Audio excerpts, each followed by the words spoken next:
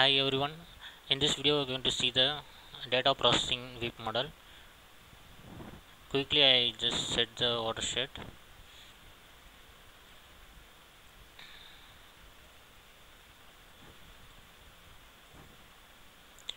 This watershed delineation were already done in our first video.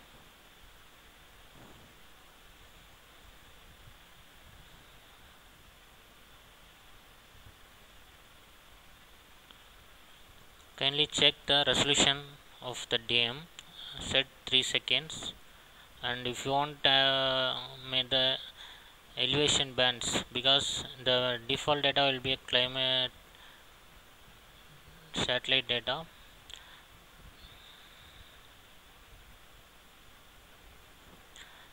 And this first check the resolution. So 3 second 15 second or just select the 3 seconds it's a 90 meter dem this is a uh, very minimum value in a WEAP model. And if you want to take the elevation bands otherwise you can skip it. Create land cover branches. Then okay. I go and just click on the basin area. Basin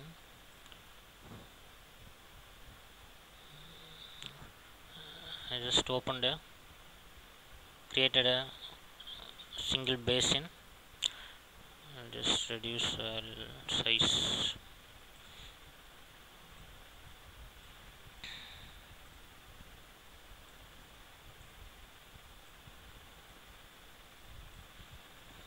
Okay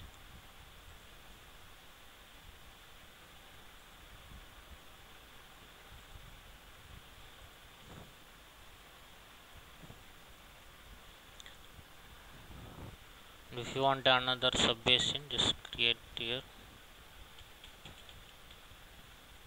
Basin one. Oh. I'll come out from the catchment delineation mode. Uh, here we're going to focus only the data processing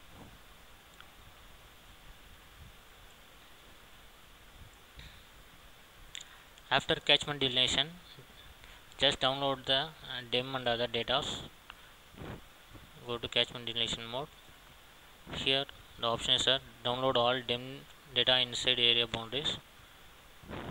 It's a one time process. Once the data downloaded and stored in our system we can utilize any time for the particular basin.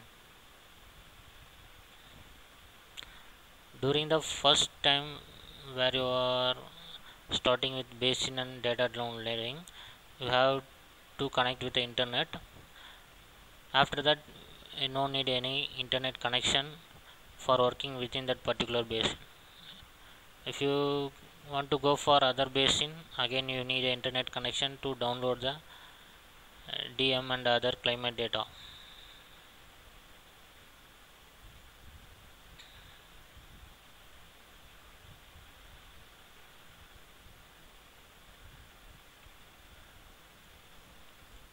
after downloading the data I'll go back to the schematic mode. Before that kindly check the year and the general. The WEAP default data will be available only 1948 to 2010 set as um,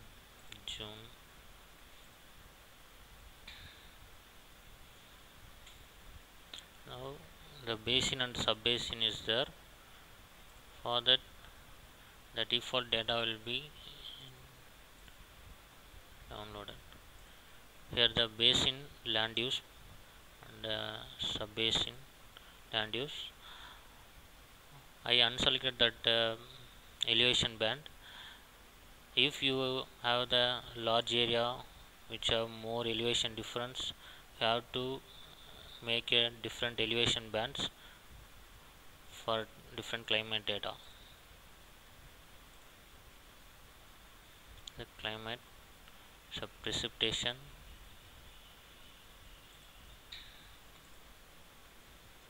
so precipitation data. And the temperature wind speed. These basic data are directly downloaded from the Princeton server. If you want to add more details or more melting albedo melting point you can add. Now I skipping this. Some basic thing needed is precipitation temperature wind speed.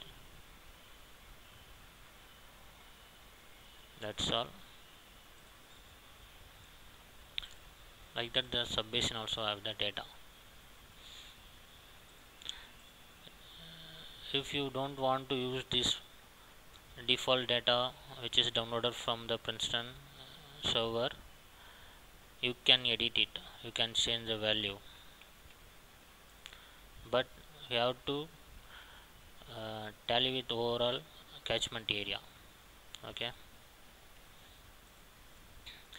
The same like that we can change the precipitation data also. Just click on this go to the read from file wizard. If you have the uh, climate data as excel file you can click and you can import the data. You can browse select the data. These two are the climate data which is downloaded previously list of location wherever a WEAP folder is there it will be downloaded in climate data. Basin and subbasin only two data. If you want do any corrections in the file you can do. Other if you want to add your own data you can add it here by converting it as a csv file gamma separated value file you can otherwise you can copy this file and then you can paste in some other place and you can add the values. Here we, we data processing the climate.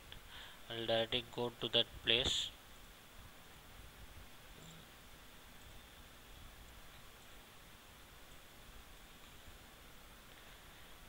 WEAP data processing climate data uh, these two data is available. I'll just copy and paste the data. Here.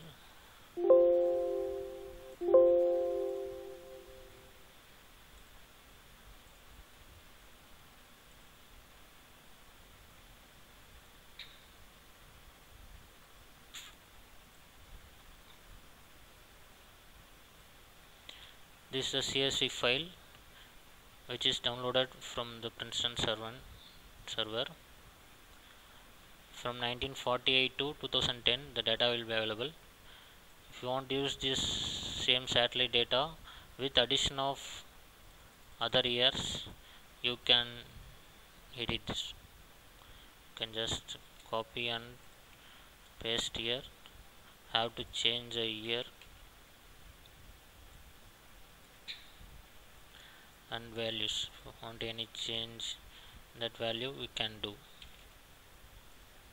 Okay these three things are the temperature precipitation and wind speed. You can change you can reduce you can add any values here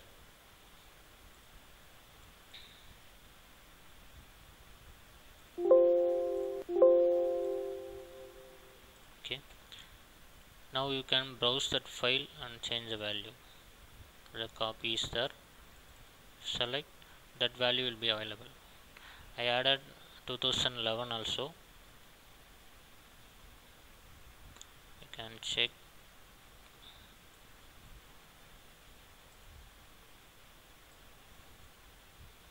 Here the 2011 data is added.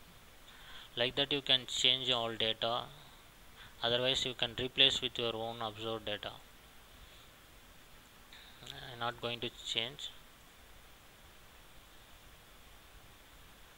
This is only basin data. Next I am going to add the hydrologic units like reservoirs diversions demand and sources. You can now directly run the model and get the total runoff, evapotranspiration and area of that basin and subbasins. Uh, I will add after that I finally I will run the model. Just click left click and drag the reservoir and place it. It's a downstream reservoir. Wire 1 like same click and drag and place it in the stream wire 2 once you added mm, data menu go to the supply and resources the river first one is basin river the reservoir one will be available and sub-basin reservoir 2 will be available. For reservoirs we have to add the data of physical constraints and operational constraints. The physical data is storage capacity just uh, set the current account. It will apply to all years. Its storage capacity I will say 5 million meter cube and initial storage will be 0 other if you want to give any storage you can add it. Say initial or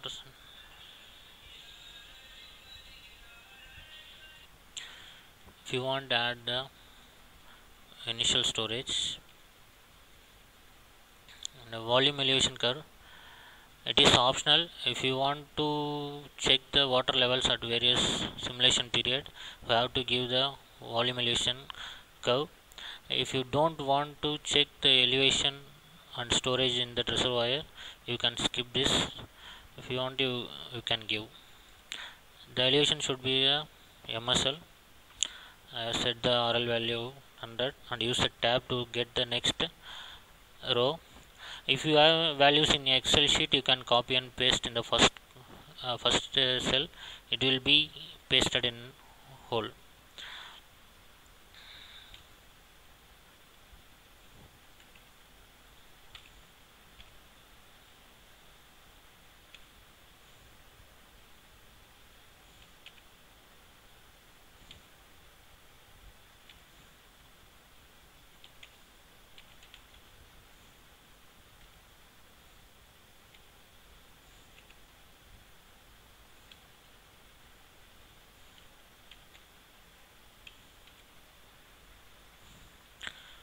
most of the reservoirs uh, elevation cast curve will be a parabola. You can adjust and correct it for your convenient and also you have to check the only initial values and the top value storage capacity 5 so you have to stop at 5 I am using the rough value. If you have the exact value you can use it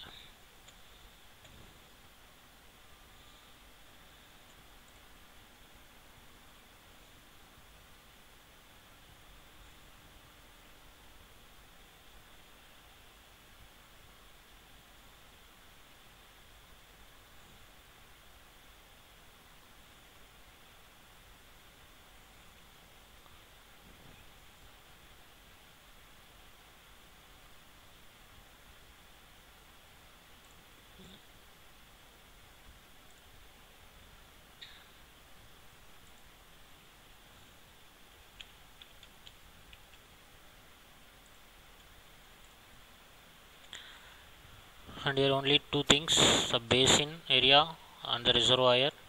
Again you have to add the demand site. Just place the demand site. It's called d2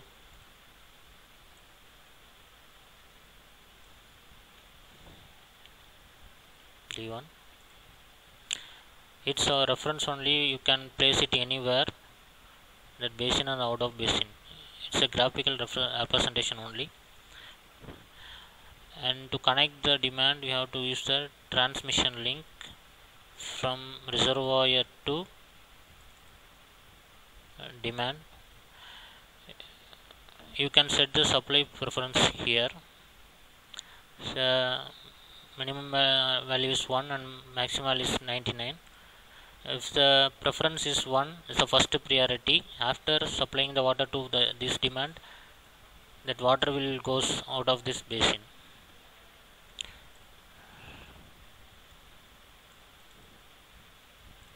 okay further you want to add the demand value just right click on edit data I just directly go to the data.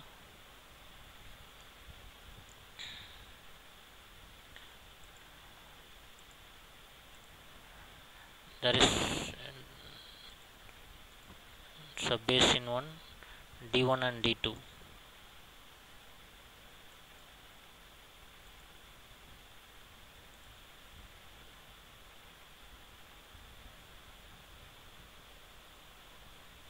here the water use there annual activity level annual water use rate and monthly variation. You can use the annual water use rate like say 10 and you have to set the monthly variation. The default variations will be set here. If you want you can edit here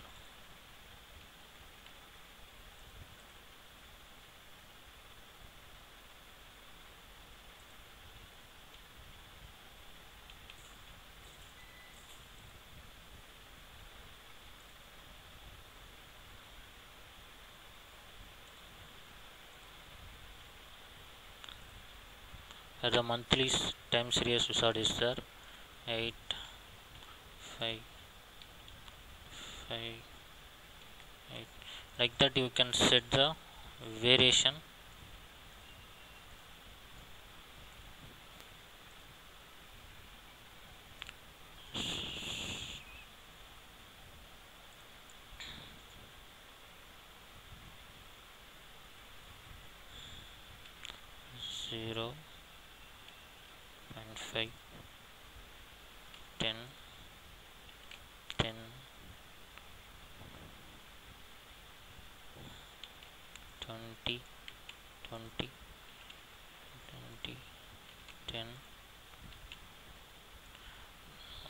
the sum should be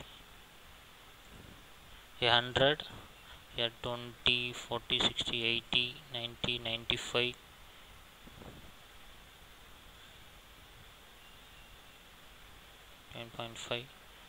0.5 and 0 okay this is the monthly variation.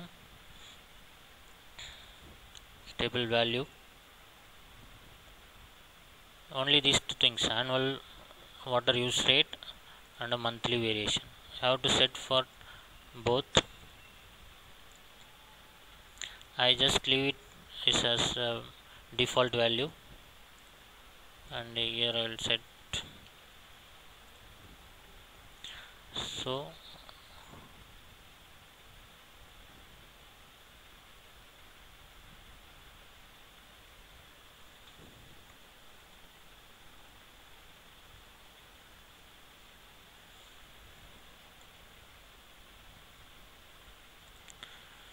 up to now we created the basin and uh, we have the default data for the basin. And also I told about the uh, editing in the data. And also added the reservoir and gave the basic data about physical constraints and operational constraint. And the demand we set it after that you can add the return flow. If you have any percentage of return flow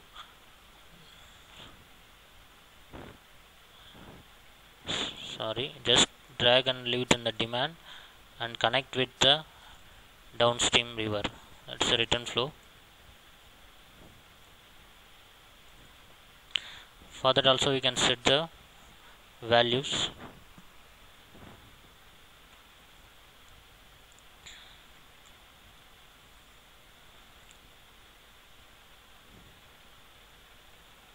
So water use annual activity level if we set the annual use rate based on the use rate it will trapped and after excess water will be go as a return flow into the downstream river.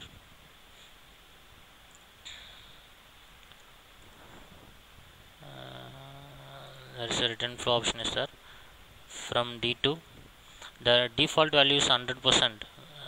It's defines as zero return flow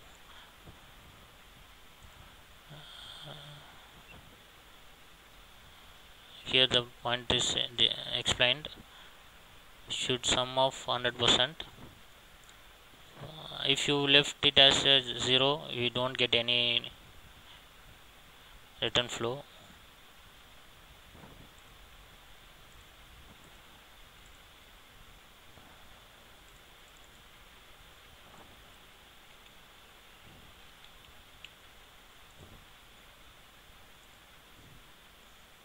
losses from system. I'll just set it as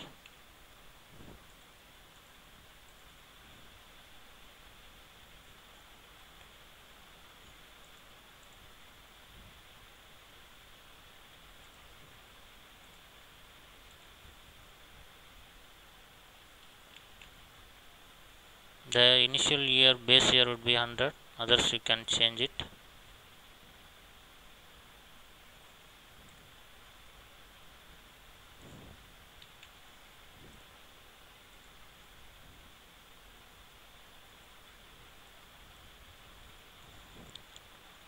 okay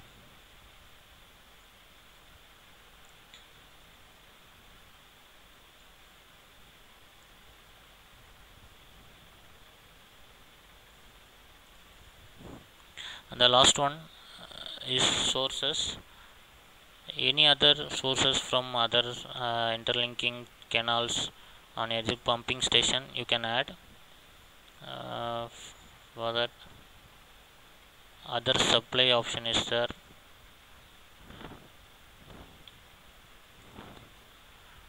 And also groundwater source is there can add and then we can connect with the transmission link.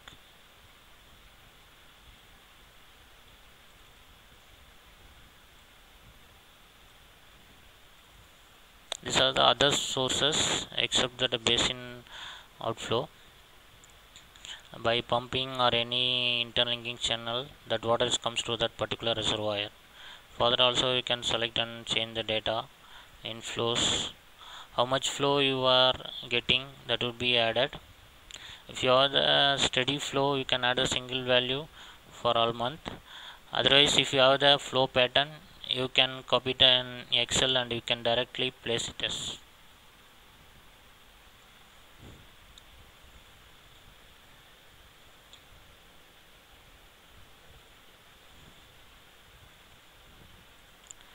in this video i am not going very deep on individual component.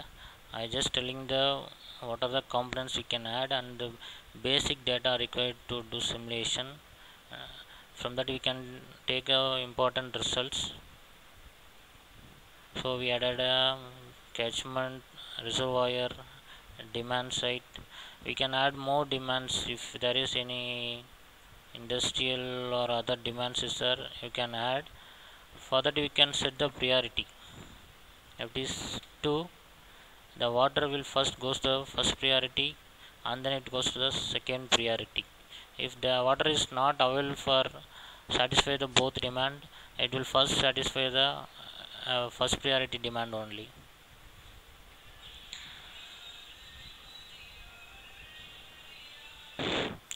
Now I will run the model and uh, extract the some basic results just click the results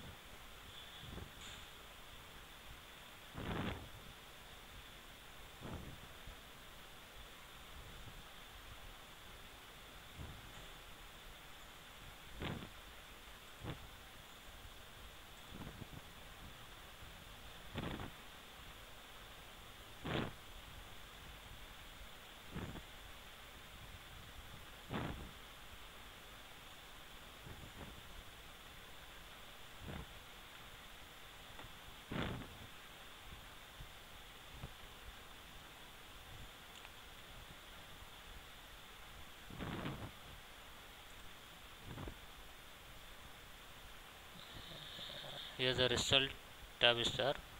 First we go to the catchment. Here my area is there. Uh, table format. You only get selected yes. I'll just select on here. This is the first basin area and the subbasin area. The total area of the whole basin is 865 and you can change the units here. And then next will be so precipitation. The precipitation for particular year you can go for all years and uh, monthly average so annual total for all years. We can change the column and row direction and we can export it as a excel file. Here the right side option is there so excel is exporting to excel.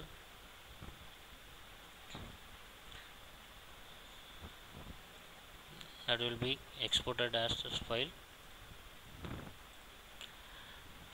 And then surface runoff this is a surface runoff value. And uh, so the um, in reservoirs you can get the storage volume and storage elevation value. Storage elevation that chart you can see. Uh, we not used any exact value so it shows the full level. Uh, better I will show the first year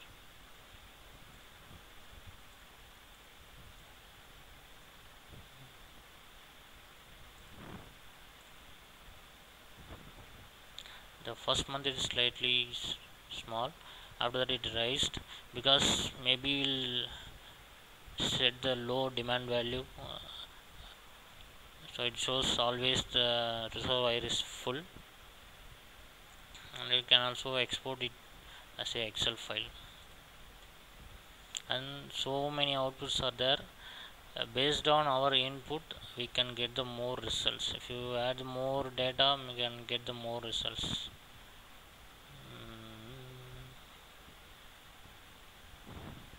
catchment there's uh, a output transpiration value.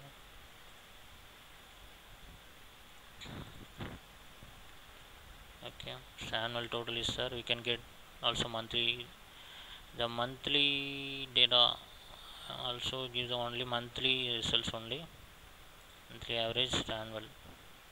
We can't do any daily basis. The limitation of WEAP model is monthly simulation period and charts maps.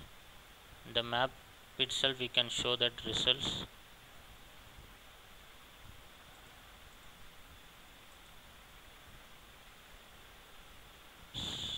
Basin one with area sorry ET actual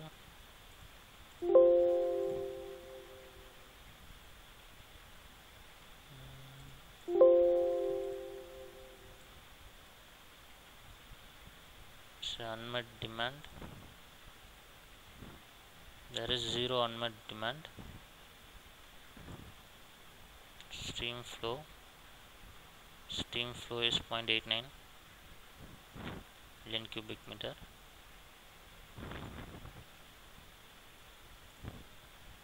So stream flows reaches some subbasin reaches. All values it will show. In the next video I will explain about the all data about individual units and the operational constraints whatever you want to give. That will be analyzed in next video. Thank you